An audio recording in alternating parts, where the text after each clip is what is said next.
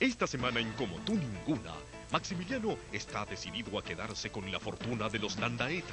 Y de esta casa no me mueve nadie. Y Gilda le confiesa a Raúl sus verdaderos sentimientos. Tú lo amas, ¿verdad? Ocasión que aprovecha Yamilex.